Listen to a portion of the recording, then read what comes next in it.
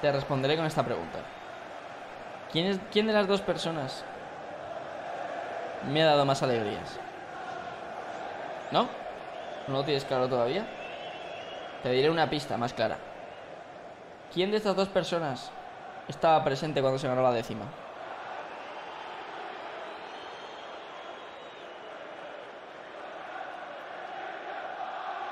Te daré otra pista más.